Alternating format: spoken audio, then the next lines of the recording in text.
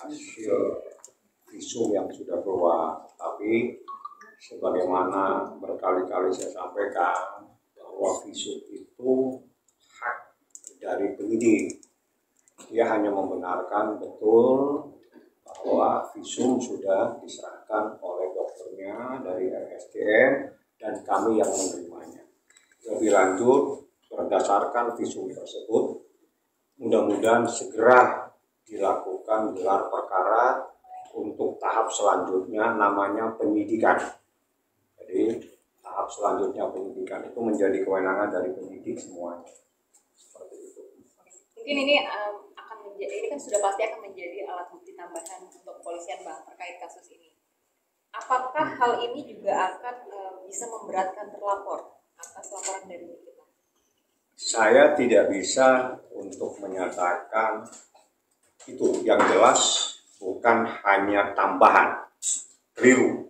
Visum ini sak bukti vital yang paling menentukan dalam perkara ini. Justru visum inilah yang menentukan semuanya. Karena dari visum ini nanti akan terbaca apa yang terjadi terhadap korban. Itu saja. Jadi kalau dikatakan tambahan itu tidak benar. Justru yang menjadi utama dalam perkara ini itu adalah bukti visum. Dan visum itu sudah ditandatangani, dari visum itu nanti bercerita. Bercerita tentang apa yang terjadi terhadap uh, korban yang dilaporkan. Berarti akan ada pemeriksaan selanjutnya dari uh, dari pihak kepolisian akan memanggil terlapor lagi atau uh, dari Laura sendiri akan diperiksa kembali? Prosesnya memang seperti itu. Jadi kalau sudah naik gelar naik pada proses selanjutnya yang selama ini adalah penyelidikan dalam rangka mencari dan untuk menemukan adanya peristiwa pidana, maka selanjutnya namanya penyidikan. Dalam penyidikan nanti semua yang dipanggil itu dimintain keterangan sebagai saksi. Itu perbedaannya. Jadi dimintain keterangan sebagai saksi dan itu dalam rangka penyidikan. Dalam rangka penyidikan ini mencari dan menemukan siapa yang harus bertanggung jawab atas adanya peristiwa pidana tersebut. Itu adalah proses dan tahapannya. Jadi saya di atas hanya menanyakan tentang informasi yang saya terima, kebenaran visum itu benar diterima oleh penyidik. Artinya informasi ini sah, sudah ada di tangan penyidik. Apa hasilnya apa kesimpulannya saya tidak punya hak untuk menanyakan. Bang Fahmi, tapi kan kemarin pada saat Paniki sebelum berangkat ke eh berobat umrah kan ngomong karena uh, hasil visum ini uh, bikin uh, bahagia segala macam. Apakah itu jadi salah satu clue bahwa ini juga akan mendukung uh, laporannya Kaniki, Bang? Kalau visum itu pasti bercerita jadi kalau visum pasti bercerita. Jadi ini bukan persoalan bahagia, sengsara. Visum itu bukti terjadinya sesuatu terhadap korban yang menjadi korban dalam peristiwa ini. Jadi visumnya yang bercerita. Misalnya bercerita tentang apa yang terjadi dan sebagainya. Jadi bukan urusan perasaan bahagia dan tidak, tapi visum itu akan menceritakan apa yang terjadi di dalam tubuh seseorang. Ya artinya uh, dari uh, dari obrolan uh, Niki itu berarti membuktikan bahwa memang benar apa yang sudah dilaporkan Niki itu uh, ada, memang ada peristiwa hukumnya. Anda tunggu gelar. Ya, dari saya tidak boleh mendahului yang jelas kita pada porsi yang selama ini kita tunggu-tunggu adalah visum dan benar visum itu sudah ada kepada penyidik. Tinggal penyidik yang nantinya e, menindaklanjuti yang akan membuat resum untuk proses lebih lanjut. Jadi apa mungkin kita juga sudah tahu sebagai e, ibu dari korban Laura, saya pun mungkin sudah tahu, tapi mohon maaf, tanyakan langsung kepada penyidik. Habis proses ini yang kita tunggu sekian lama ini adalah visum yang ditandatangani secara sah. Jadi dalam visum itu ada aturan bahwa tanda tangannya itu istilahnya itu tanda tangan basah. Jadi tidak bisa dengan tanda tangan elektronik. Jadi yang menandatangani itu dokter yang ada pada saat itu dan itu ditandatangani langsung. Sehingga itu bisa dipertanggungjawabkan di dalam proses di persidangan. Karena visum adalah bukti yang paling vital dalam perkara itu.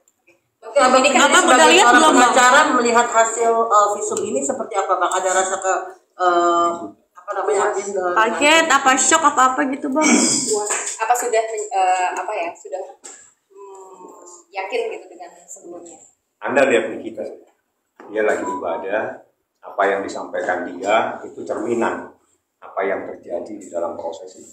Kalau abang sendiri gimana? Saya tanyain pasal, tanyain hukum, tanyain prosesnya saya jawab. oke bang eh, kan ini eh, dari hasil visum dan lab semuanya sudah lengkap abang sudah ada di dapat info nggak sih kapan gelar perkara itu akan digelar Saya tidak tahu.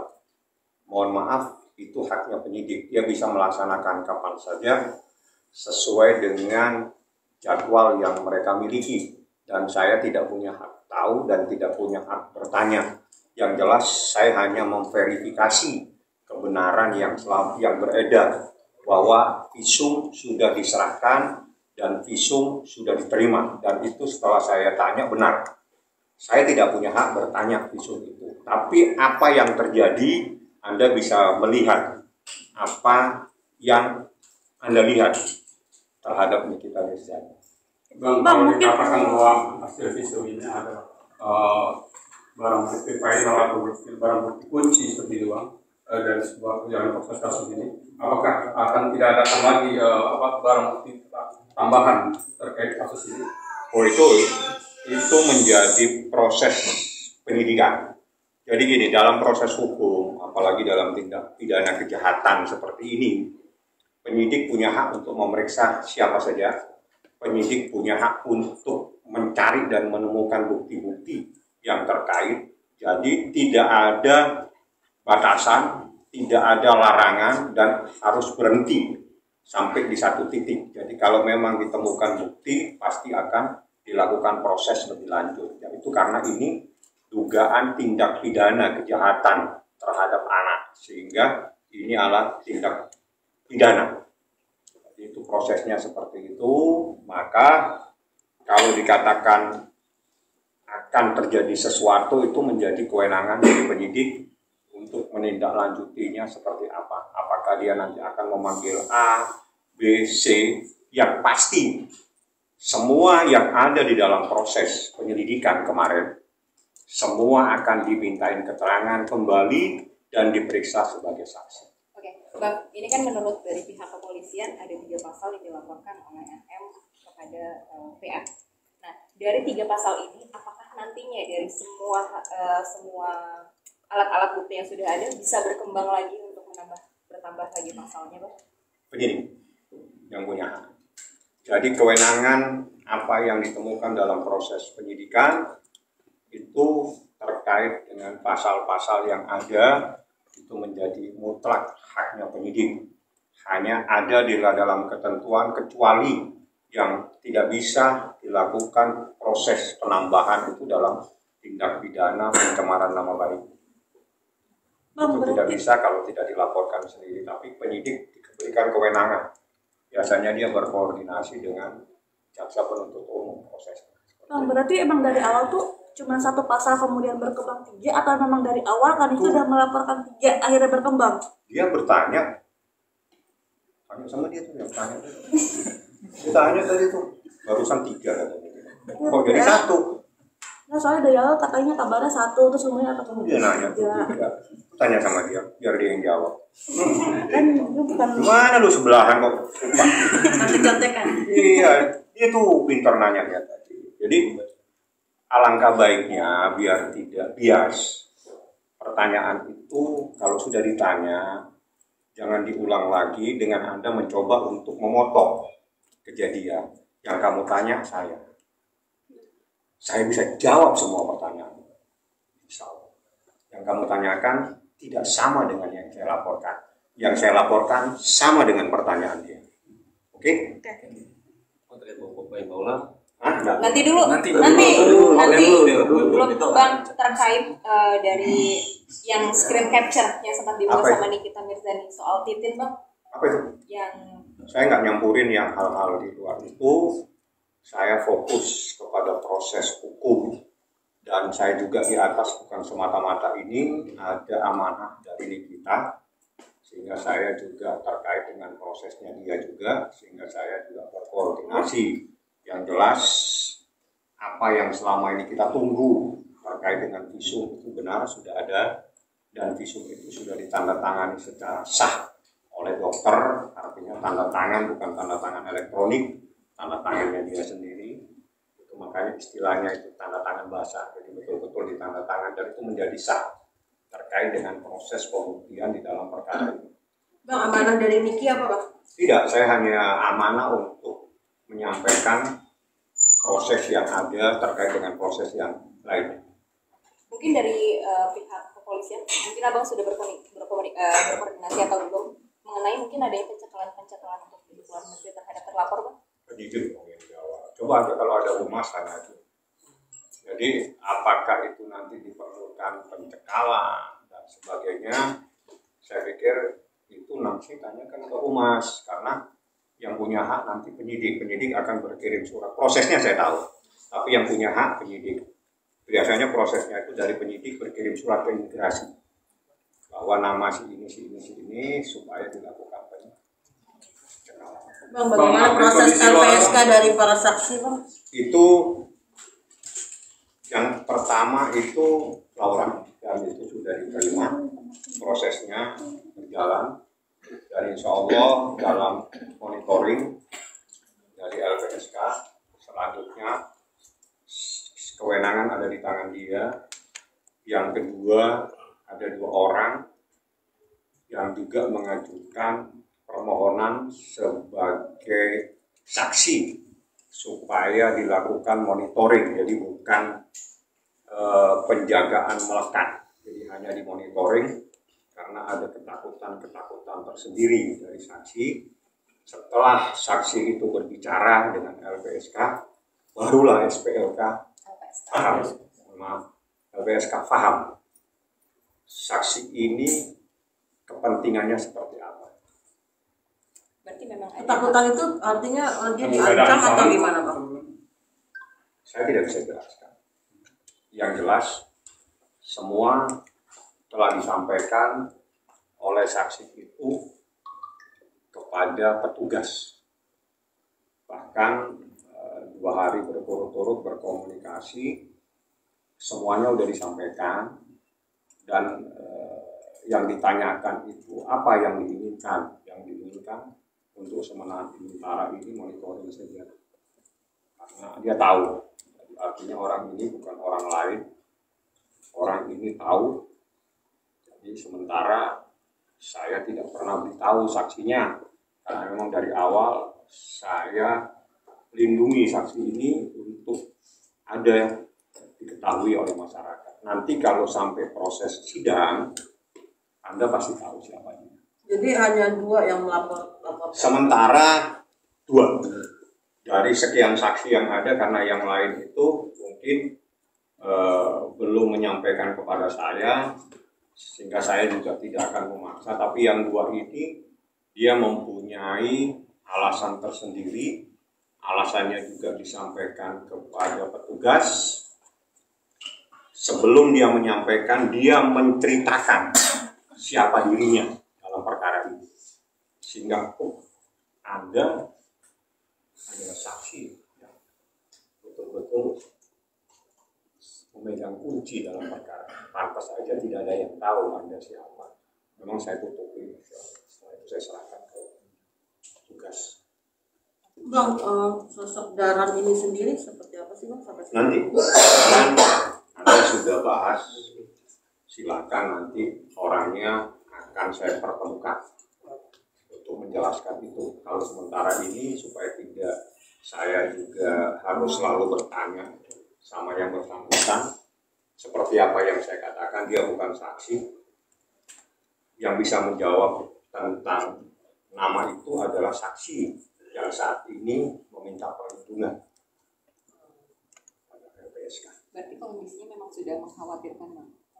Kalau pengancaman secara fisik langsung belum ditemukan, tapi melihat riwayat dan ketakutan karena dia tahu, apalagi dia ada yang dia ceritakan juga, sehingga dia bilang yang terbaik bang, saya minta perlindungan tapi bukan melekat tapi sementara biar monitoring dan itu dibenarkan. Yang dikhawatirkan bukan dalam proses ini. Dalam proses ini sementara tidak ada yang tahu.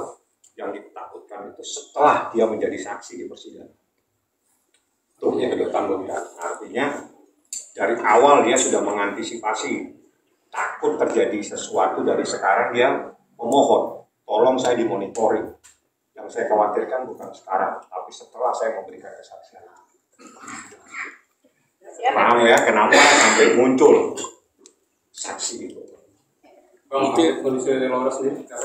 Laura alhamdulillah sehat. Kemarin juga sudah dilakukan proses oleh dokter oleh psikolog ya dan RSDM lumayan cukup lama. Yang selanjutnya kan gini pada saat proses itu saya tidak ada di tempat tapi saya ada di rumah sakit karena saya yang menyelesaikan administrasi. Dia berkomunikasi langsung dengan dokter dengan petugas semuanya supaya tidak menimbulkan problem salah paham dan sebagainya.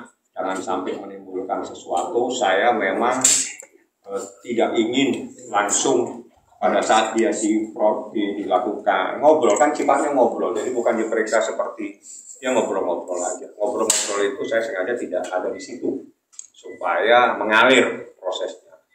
Dia sehat-sehat alhamdulillah dalam keadaan sangat sehat. Dan betul-betul. Sudah ada permintaan mungkin dari Laura sendiri untuk bertemu dengan Niki? itu mungkin dari dari petugas karena mereka bisa bypass ke Niki langsung. Kalau ke saya nggak mungkin mereka nyampaikan. Kemarin saja kita ngobrolnya lain, ngobrol yang lain-lain. Ada beberapa permintaan dari Laura yang harus saya sampaikan kepada mamanya, permintaan ya, jadi permintaan beberapa barang nanti saya sampaikan. Artinya bang kalau secara perubahan secara perubahan secara mental lebih kelihatan Mas? Dia jauh lebih jauh lebih lebih tenang, lebih lebih lebih saya katakan ini Laura, ini Lauranya. Dia lebih tenang, percaya dirinya juga ada, jadi bukan seperti yang anda pernah lihat, tapi ini betul-betul jauh berbeda sekali. Alhamdulillah saya ucapkan betul-betul dilakukan perlindungan secara maksimal. Ada Ya, nanya-nanya, keluarga ada, ada, nanya-nanya nggak bang? Nanya-nanya F bang. Bang terkait permintaan barang sendiri, barangnya apa aja sih bang? Mungkin? Saya nggak tahu, tapi catatannya ada, ada ke petugas ya, Pak. Pak, Petugas langsung. Jadi Bang, kebutuhan. langsung kebutuhannya mungkin kebutuhan keperluan hari-hari.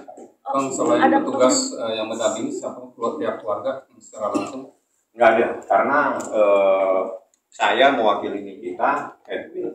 Edwin tidak lama, cuma dia bilang, Bang, udah abang lah, abang kan juga udah kayaknya Laura sendiri. Ya udah saya yang. Tapi kan pada saat saya lihat di dalam ada proses pemeriksaan, mengganggu kalau saya masuk ke dalam, jadi saya di luar sampai selesai. Bukan Kita bu- bukan sifatnya seperti pemeriksaan Bang. Enggak lah, Obrolan biasa. Ngobrol-ngobrol. Supaya lebih mengalir terbuka. Iya. Ngobrol-ngobrol aja, ngobrol yang diajak ngobrol sama petugas. Kalau permintaan buku, buku kayak waktu kemarin kan Niki kasih atau Enggak, mungkin- beda lagi permintaannya. Permintaannya kayak kayak barang.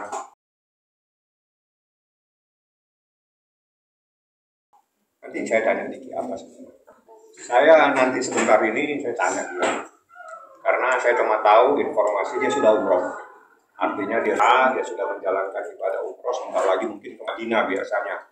Kapan dia pulang nanti saya tanya. Oke, makasih Bang. Terima kasih Bang. Yuk Bapak jangan di sini yuk, Polres gak enak. Kalau itu dua tiga. Ya. Dua tiga. No comment dua. Depan lu bang. Awas jatuhnya, awas Apa? Bang Fahmi belum. Belum? Belum belum nyampe di jalan. Dan bang dia. Enggak sudah dikabarin, dikabarin. Nyampe jalan. Iya.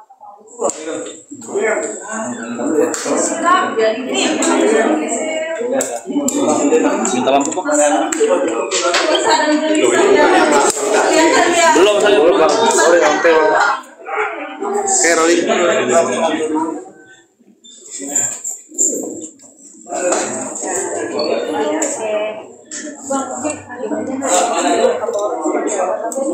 hanya memastikan aja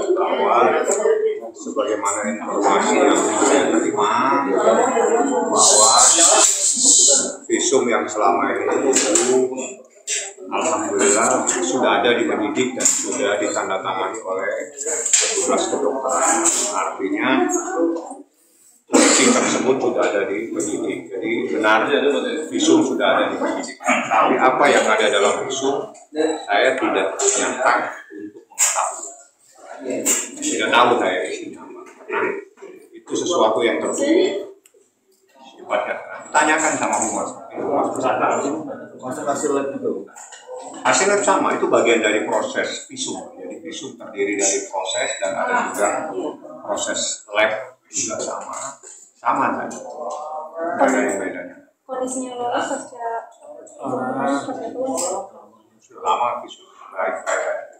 Alhamdulillah dia sehat-sehat saja, nggak ada yang berkurang. Dia sudah semakin tenang. Uh, itu yang cukup luar biasa ya, karena ketenangan ini yang menentukan dia dalam menjalani proses dalam perkara ini seperti itu. Sudah mulai membuka semua cerita-ceritanya atau dari lawannya? Saya belum tahu karena itu yang berkomunikasi nanti dari petugas ya bukan saya.